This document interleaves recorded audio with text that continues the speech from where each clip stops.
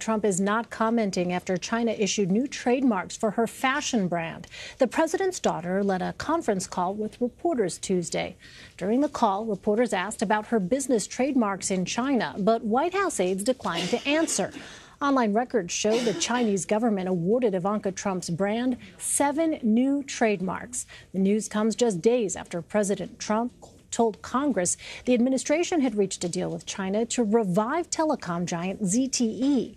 Critics say the timing of the move and the trademarks raise questions about potential ethical violations. CBS News White House reporter Jacqueline Alemany was on the call and joins me now from Washington. All right, so Jackie, tell us more about this call led by Ivanka Trump.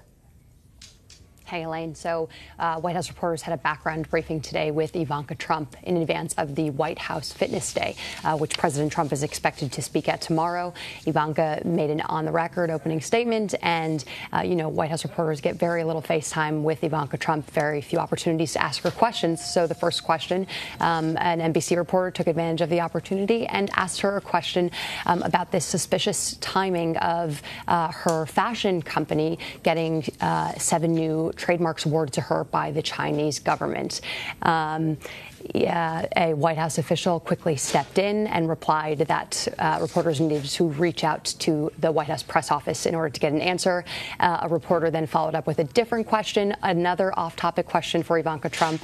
Um, and uh, the White House official quickly revealed that Ivanka had dropped off the call. She had another um, meeting uh, to attend to. Mm. Um, so she was not down to, you know, play ball with White House reporters on uh, answering any of these questions. Interesting. Well, Jackie, what do we know about the timing of these trademarks? Yeah, so the timing here, as you pointed out, is a bit suspicious or potentially co coincidental. Um, seven days prior to President Trump coming out and saying that he was going to allow telecommunications company ZTE do business in the U.S., the Chinese government awarded uh, Ivanka Trump um, seven new trademarks to cash in on her name, Ivanka Trump. Now, uh, Ivanka Trump's company, her fashion company, has argued that this is, you know, her company. Um, throughout the year constantly puts in new requests for uh, new trademark requests in order to protect her name due to uh, increased um, interest in uh, the Ivanka Trump name.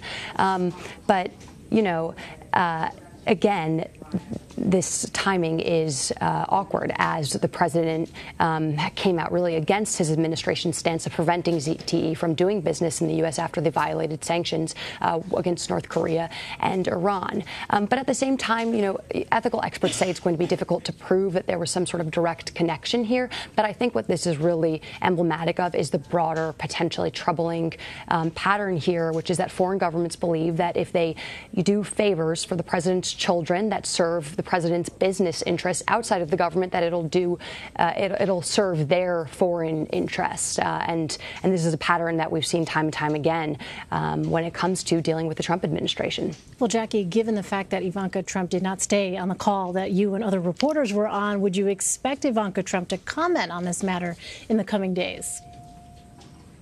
I'm not sure. We'll get a little more FaceTime with her tomorrow, but she has steered clear of the press uh, as to the best of her ability, um, at least not uh, in situations that aren't you know, uh, staged interviews. Um, but the White House has uh, so far not responded to our comment. All right. Uh, White House reporter Jackie Alemany continuing to ask those questions along with other reporters. Thank you so much, Jackie. Thanks, Lane.